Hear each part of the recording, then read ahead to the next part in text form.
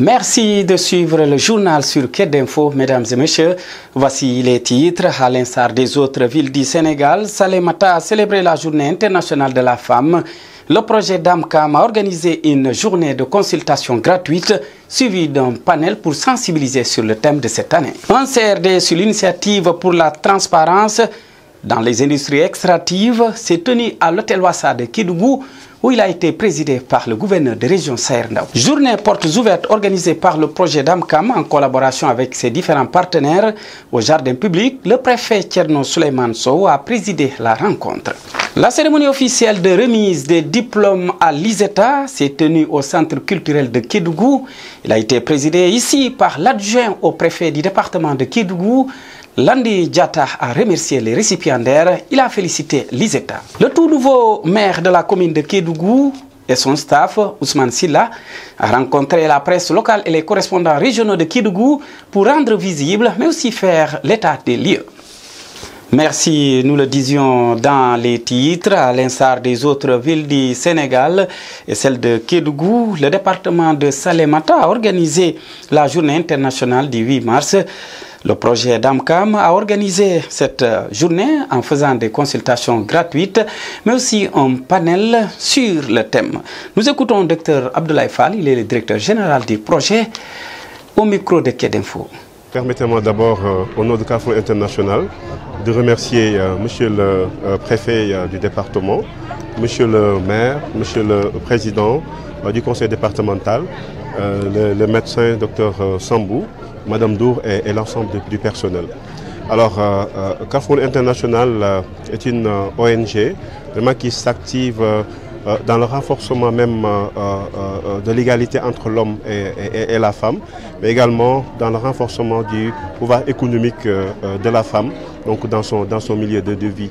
Donc vous comprenez pourquoi aujourd'hui euh, nous nous sommes intéressés donc euh, à célébrer euh, la journée mondiale de la femme qui a été officialisée depuis 1977 par l'organisation des, des, Nations Unies.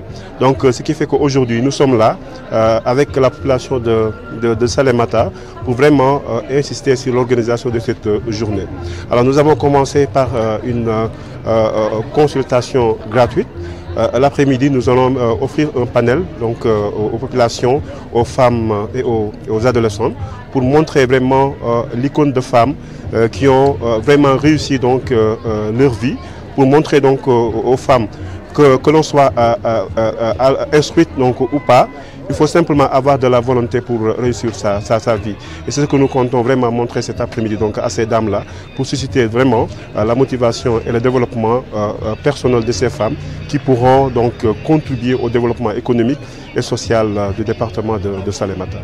Madame Nour, dite Fatou Faye, infirmière, chasse-femme, infirmière au niveau du district sanitaire de Salemata, est revenue sur cette consultation gratuite. Le projet DAMCAM a organisé au niveau du département de Salemata pour offrir des consultations gratuites, euh, planification familiale, euh, visite prénatale, euh, échographie pour les femmes enceintes. Il y a aussi dépistage cancer du col, cancer du sein. Aussi, il y a conseil ado, offre de planification familiale aussi pour les ados. Il y a aussi dépistage du VIH. Il y a beaucoup de monde. bon, on est satisfait aussi de leur présence et aussi de la présence de nos autorités. Un CRD sur l'initiative pour la transparence dans les industries extractives, ITIE, s'est tenu à l'hôtel Wassa de Kédougou. Le gouverneur de région Saïndao a présidé la rencontre. Nous écoutons Awa Marie Sek. Elle est ministre d'État, par ailleurs présidente du comité national de l'ITIE. Elle explique la répartition du budget. Il faudrait qu'il y ait une approche globale, que ce soit un tout. Ce que nous avons dit dans le rapport, c'est que les mines, d'une manière générale, au Sénégal, ont contribué euh, jusqu'à 185 milliards de francs CFA cette année. Donc, nous faisons un rapport avec euh, N-1, c'est-à-dire c'est 2020. Et bientôt, nous sommes en train de travailler sur le rapport 2021.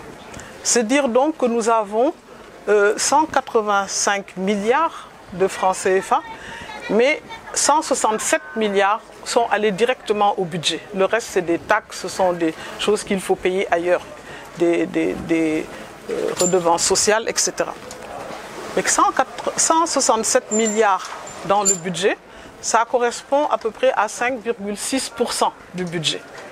Ce qui veut dire qu'il y a encore beaucoup d'efforts, que les ressources naturelles doivent être mieux exploitées d'une manière plus transparente pour que le budget national aussi sente mieux la présence des industries extractives au niveau du Sénégal. Le gouverneur de région Saher Ndaou se félicite de cette initiative de partage entre les différents acteurs. Saher Ndaou est au micro de Kedinfo. Il était question de venir partager, de faire comprendre et de faire savoir et d'expliquer aux besoins tous les contours de ce rapport et en plus de partager avec nous les résultats obtenus pour cette année. Donc ça a été donc l'exercice de ce matin et nous, étions très fiers de, les recevoir, de partager parce que c'est ce que nous demandons tout le temps.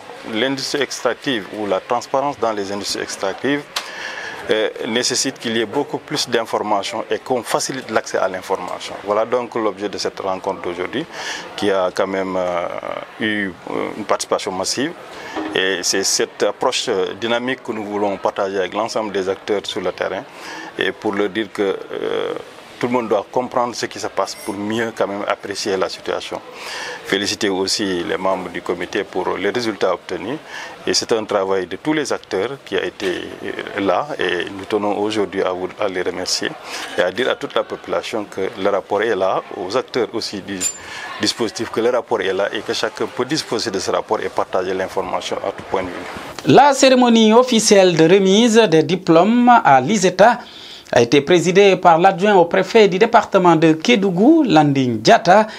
Il a toutefois remercié les 187 récipiendaires, leur a félicité, mais aussi il a remercié le directeur PDG de l'ISETA.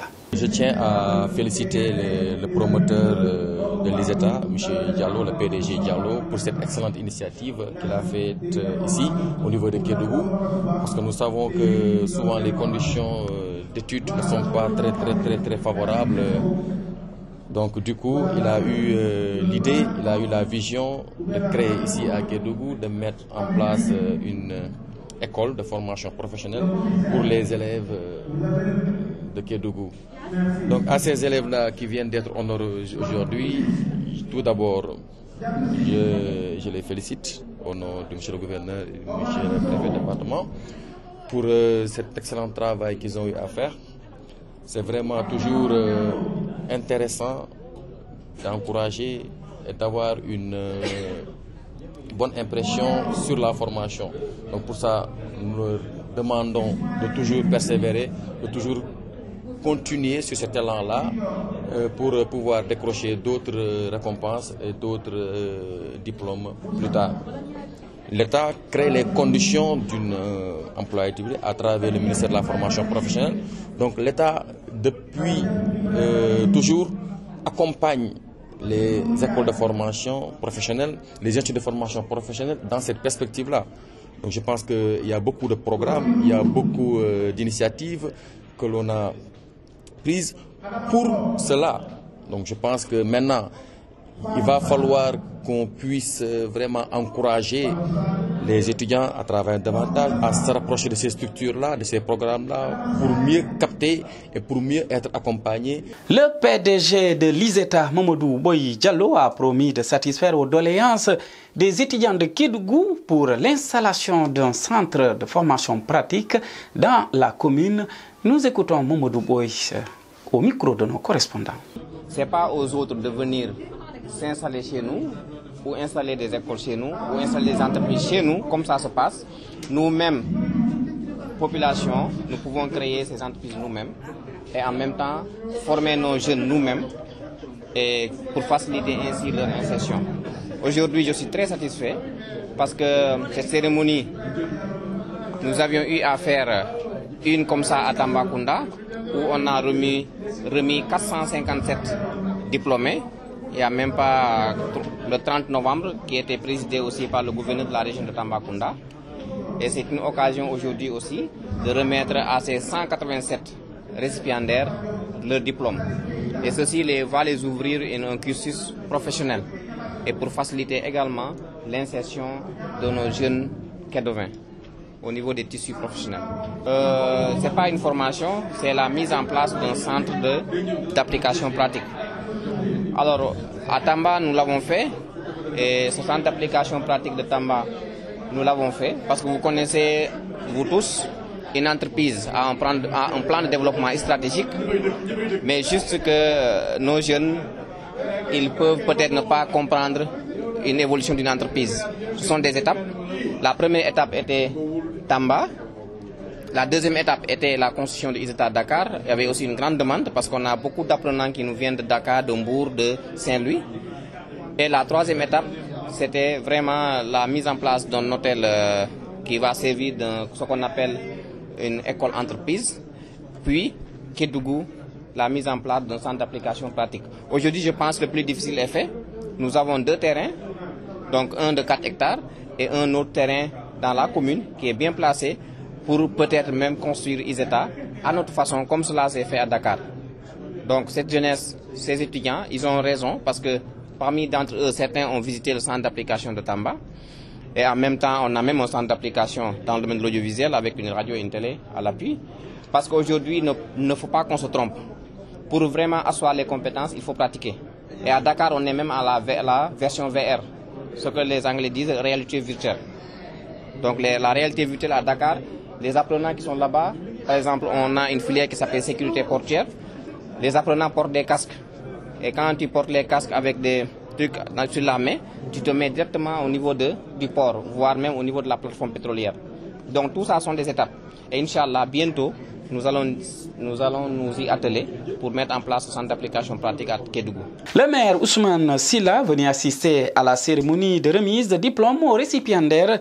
Il a remercié le directeur général de l'ISETA. Il a promis de les appuyer. Nous écoutons Ousmane Silla. Permettez-moi de remercier d'abord l'ensemble du personnel d'ISETA, l'encadrement, euh, les étudiants et principalement le PDG qui est un ami, un frère, Mahmoud Bouy Diallo, euh, qui est quand même euh, quelqu'un qui est de la région, de la commune de Kédougou. Et ça, c'est un exemple euh, en termes d'entrepreneuriat, d'engagement pour la formation des jeunes de la région de Kédougou. Et je les remercie et je suis très honoré aujourd'hui d'être ici parce que cela démontre que quel que soit le niveau de formation que nous avons, si nous n'avons pas une formation professionnelle, nous risquons de perdre en tout cas la possibilité d'être embauchés dans des grandes entreprises et d'être aussi entrepreneurs. Donc je félicite et j'encourage encore cette initiative. En tout cas, je serai à, leur côté, à côté de l'ICETA pour leur permettre encore d'impliquer davantage les jeunes de cette commune et aussi de la région. Notre prérogative déjà c'est d'être à côté de la population et quand je vois un établissement comme ISETA, en termes d'éducation, nous, avons ce devoir de les accompagner. Nous allons les accompagner. Maintenant, à quelle hauteur, avec quels moyens En tout cas, on ne sait pas encore exactement avec quelque chose de données chiffrées. Mais sachez que moi, je serai un des ambassadeurs des CETA pour les accompagner dans cette dynamique parce que je crois à la formation professionnelle. Si nous avons des jeunes formés, nous aurons de l'emploi, nous aurons des entrepreneurs. Et je souhaite qu'à Lucie, à travers ICETA, qu'on ait des champions en termes d'entrepreneuriat qui vont permettre d'embaucher encore davantage des jeunes de la région de Kédougou. Le tout nouveau maire de la commune de Kédougou et son staff ont rencontré la presse locale et les correspondants régionaux pour rendre visibles les actions de la mairie de Kédougou, mais aussi pour faire l'état des lieux. Ousmane Silla au micro de Kédinfo.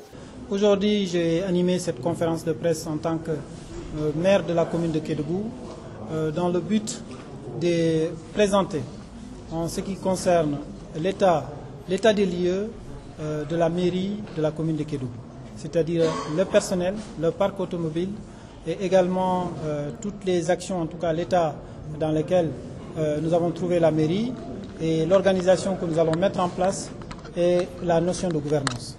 le personnel, je pense que c'est un point clé. Nous avons 141 personnes au niveau de Kédougou, dont nous avons plus de 69% qui sont au niveau de la commune et 31%, 31 qui sont détachés. Donc quand on regarde ça, on regarde aussi au niveau de la masse salariale. La masse salariale de Kédougou, quand on prend une référence de 2015, on est passé en 2021 à plus de 58% au niveau de la masse salariale. Ce qui, fait, on est à plus de 180 millions de masse salariale par an, comparé à, à des recettes à 100 millions. Donc nous avons un certain déficit. Mais au-delà de ça, je pense que c'est la notion d'efficacité. quand on constate au niveau des fonctions, nous avons une disparité au niveau des fonctions par rapport aux besoins de la commune.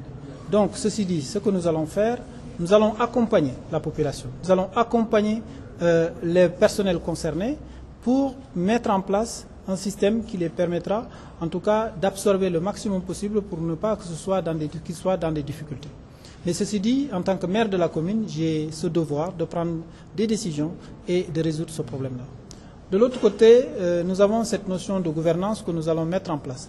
Je pense qu'une commune, comme une commune régionale, euh, capitale régionale de Kédougou, euh, nous avons ce devoir, en tout cas d'être au service de la population, d'avoir des horaires qui répondent en tout cas aux attentes de la population et de faire en sorte que les problèmes que la population a quand ils viennent ici à la mairie, que ces problèmes soient résolus, surtout en ce qui concerne l'état civil. C'est pour cela que nous avons deux adjoints qui ont cette délégation de signature.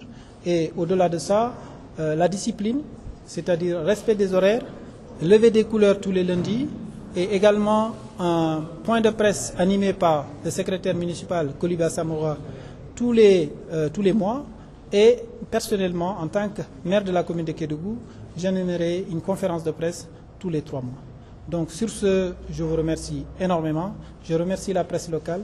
Nous avons une double responsabilité, c'est-à-dire avoir un marketing réel de cette région et nous devons véhiculer ce marketing, cette image, pour que Kédougou soit en tout cas une destination rêvée de tous les Sénégalais et de toute la population, aussi bien de la diaspora. Et je remercie par, par là la diaspora qui nous a beaucoup accompagnés et qui est présente. Et aujourd'hui, nous comptons sur cette diaspora-là pour nous accompagner, pour trouver des partenaires, surtout dans le cadre de notre département aujourd'hui, de cette commission aussi qui est là, en ce qui concerne la, les coopérations extérieures. Nous allons travailler dessus parce que nous devons être innovants, chercher des recettes de manière différente et innovantes aussi en termes de développement local dans une démarche inclusive avec toute la population de Kédougou. Je vous remercie. L'usine de glace de Kédougou se situant au quartier Gomba 1 inauguré l'adjoint au maire de la commune de Kédougou, M. Olivier Ichar Bangar, est revenu sur l'importance de son installation à Kédougou. Les exemples de leaders qui ont eu à être euh, des modèles charismatiques vers ce chemin initiative vers la paix nous édifient à suffisance. En ma qualité de professeur d'histoire et de géographie, je peux retenir donc euh, en parlant de l'Inde, de Gandhi, en parlant donc de la période triste des États-Unis, on peut retenir donc Martin Luther King, les Rosa Parks et autres. En Afrique, nous avions été certainement très jeunes au moment où Nelson Mandela a eu à être emprisonné pendant 27 ans, comme l'a dit cher Ali pendant son exposé. Tout cela parlant de l'exemple de donc cher euh, euh, Ali Ndaou, nous donne de quoi se dire que avec on peut parvenir à vraiment donc produire de la qualité pour tous. L'exemple de cette qualité se traduit à travers la mise en place de cette unité de production de glace. Parce qu'à Kédougou, vous devez le savoir, il fait excessivement chaud. Et je vous assure, hein, les prix sont exorbitants. Ce n'est pas des prix accessibles à toutes les bourses. Quant à Amadou Sega Keita, il est le vice-président du conseil départemental. Il a toutefois remercié, mais aussi s'est montré satisfait de cette initiative. Ils promettent d'appuyer ce genre d'initiative. C'est d'abord au nom du président du conseil départemental vous assurer et vous garantir de la disponibilité du conseil départemental à soutenir toutes les initiatives allant dans le sens du développement, bref, à la satisfaction des besoins des populations. J'ai noté euh, avec beaucoup de satisfaction l'exposé que M. Kanouté nous a fait au niveau des stands de la production pédagogique d'abord, jusqu'à la production euh, industrielle, euh, dont vous voulez offrir le développement par l'exemple. Avant-hier seulement, euh, je travaillais souvent sur euh, des systèmes de développement décentralisés. Et dans un ouvrage que je fouillais avant-hier seulement, j'ai trouvé que sur les 100 premières industries les plus puissantes au monde, les 70, 70 sont dirigées par les présidents directeurs généraux qui sont de l'Inde. Ça m'a beaucoup marqué et même des personnalités de premier plan de l'Europe, bref, surtout de l'Angleterre, sont aussi indiens. C'est pour vous dire que la capacité de formation intellectuelle et professionnelle de l'Inde n'est plus à démontrer. C'est un exemple à suivre. Et M. Kanouté nous a aussi dit que pour la mairie et pour le conseil départemental, bref pour Kédougou, ils sont disposés aussi à accompagner les femmes, les acteurs de développement, les jeunes, dans les perspectives de formation professionnelle, dans le cadre de la promotion, de la transformation et la promotion des produits locaux. C'est vraiment des points que j'ai retenus pour vraiment vous remercier. Vous dire comme mon aîné, le maire, euh, Olivier Bangar l'a dit, nous sommes là pour accompagner tous les acteurs de développement, chacun dans le secteur dans lequel il s'active. Aucune distinction n'est possible. Et je tiens à le préciser parce que c'est ça aussi l'intention du président du conseil départemental, Mamadou Salisso. La campagne est terminée. Place au travail. Donc il n'y a aucune distinction de parti politique, d'appartenance ethnique. Aucune distinction n'est tolérable, n'est admissible, n'est acceptable. Nous sommes Kédougou, nous devons être unis, être un et indivisibles. Et le développement que vous avez, les propositions de développement, les modèles que vous avez partagés aujourd'hui, je souhaiterais peut-être avec certains supports, je pense à peut-être encore démultiplier. Une usine de glace venue à son heure pour aider les populations et les femmes de Kédougou. Il est revenu sur l'historique du fondateur Cheikh Aliou. C'est partager cette expérience, voilà. Ce n'est pas des informations, c'est l'expérience qu'on a partagée, qu'on a voulu vous faire toucher du doigt, Inch'Allah, pour que vous puissiez vous aussi le mettre à disposition des autres qui sont là.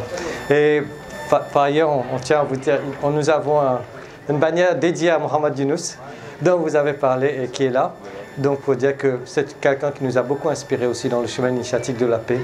Et Alhamdulillah, nous remercions le Seigneur. Nous remercions le Seigneur de nous avoir donné l'occasion de nous réunir ici avec vous tous. Parce que sans, sa permission, on ne serait pas là. C'est le Seigneur qui, nous a invités là. Et quand je dis invité, Cheikh Ali, il avait trois ou quatre places qui voulaient venir après Tamba. Il y avait Kidira, il y avait Kédougou, il y avait d'autres endroits. Il lui restait très peu de temps à vivre. Et il a choisi Kédougou sous l'inspiration divine. Et depuis ce moment, il n'a pas arrêté de faire le va-et-vient entre Tamba et Kédougou dans une température extrême en jeûnant. Et je le rappelle parce que c'est important. Parce que ça lui tenait à cœur. Ça lui tenait à cœur de pouvoir apporter ça ici. Parce que c'est le message. Cheikh Bamba dit qu'il est venu pour l'humanité. C'est un message qui est destiné à l'humanité. Et Inch'Allah, que tous ceux qui sont à Kédougou puissent bénéficier de ce message, euh, de, de, cet exemple, de ce modèle qui est Cheikh Khalindao, radiallahu anhu, dont nous ne pouvons remercier Dieu tant qu'il est grand. Et Alhamdulillah, nous prions le Seigneur d'accorder la santé à tout le monde et fasse que, comme Cheikh Moudouba dit, qu'on soit au service à toute l'humanité dans leur plus grand amour. Inch'Allah. Merci encore une fois de votre présence et la, la route continue. Donc euh, c'est votre usine à glace. Venez. Euh, sera là. Il va organiser d'autres séances avec Soraya et tous ceux qui, qui vont venir de Tamba ou de Pout. Donc Inch'Allah. Euh, et Inch'Allah, il y aura d'autres Baïchers qui viendront de Kédougou. Inch'Allah. Omar Diallo, responsable des genres et droits humains du projet DAMCAM, Dane Am Tchelal Am, Ma Voix, Ma Santé, est revenu sur l'atelier d'orientation des acteurs de l'éducation des enfants avec l'inspecteur d'académie de Kédougou. Nous l'écoutons avec Kédinfo. Nous avons organisé un atelier en collaboration avec l'IA, euh, un atelier d'orientation des acteurs de l'éducation sur les droits de l'enfant, sur l'analyse de genre et sur la santé reproductive. Euh, en réalité, c'est une façon également de les mettre au, même niveau que les, les, acteurs de la santé sur le projet DAMCAM, mais également sur les thématiques sur lesquelles nous travaillons. Donc, euh, au terme de cette activité, nous avons prévu également de planifier euh, comment introduire dans les établissements pour euh, mettre sur place ce qu'on appelle les clubs de jeunes filles, euh, mais également des sessions de, sensibilisation des élèves qui seront faites par les participants qui ont été formés. Donc c'est un, paquet d'activités qui a été prévu au terme de cet atelier de deux jours sur les droits de l'enfant, sur la, la, santé reproductive et sur l'analyse sur de genre. Quant au président du tribunal de grande instance de Kédougou, Aliou Diallo, participant à l'atelier, a plaidé pour le maintien des filles à l'école, mais aussi pour une bonne éducation de nos enfants. Nous écoutons Aliou Diallo. J'étais venu pour parler des droits de l'enfant. Vous savez que l'enfant est un être vulnérable. C'est un être qu'il faut sécuriser, protéger pour lui permettre d'avoir de meilleures aptitudes parentales une fois parvenu à l'âge adulte. Voilà. Les enfants, donc l'enfant, il faut les protéger contre les abus sexuels, l'enfant aussi, le travail des enfants, la traite des personnes. On voit que dans la région de Kédougou, les enfants sont victimes de pas mal d'abus liés surtout à l'exploitation de leur péage dans la région. Le conseil qu'on lance aux parents de la région, surtout vraiment, c'est de veiller sur la sécurité des enfants. Parce que l'enfant est un être sacré, est un être sacré, donc euh, faites de sorte que l'enfant, une fois l'enfant veille à ce que les enfants aient un extrait de l'enfant, que les enfants aient un extrait de naissance, protéger les enfants contre le travail des enfants, parce que le travail des enfants en tant que tel n'est pas interdit. Ce qui est interdit, ce sont les pures formes de travail des enfants. Protéger les enfants contre la traite des personnes, protéger les enfants contre la, les abus sexuels, et faire de sorte aussi que l'enfant puisse avoir des actes de naissance pour qu'il puisse poursuivre ses études parce que l'état civil, parce que si on n'a pas l'état civil, on n'a on a, on a absolument rien. Parce que quand on n'a pas un extrait de naissance, on ne peut pas avoir de pièce d'identité, on ne peut pas avoir de permis de conduire, on ne peut absolument, on ne peut pas avoir un passeport. Et quand on n'a pas aussi l'extrait de naissance, on ne peut pas avoir de carte d'identité pour bénéficier de crédits au niveau des établissements de crédit. Ce qui fait que vraiment l'enfant, c'est un être vulnérable qu'il faut sécuriser, protéger et surtout aussi les filles qui sont à l'école veillent à ce que les enfants puissent rester à l'école le plus longtemps possible. Voici ce qui a mis fin à ce journal. Continuez à nous suivre sur notre page Facebook, mais aussi sur notre chaîne YouTube. Merci et portez-vous bien.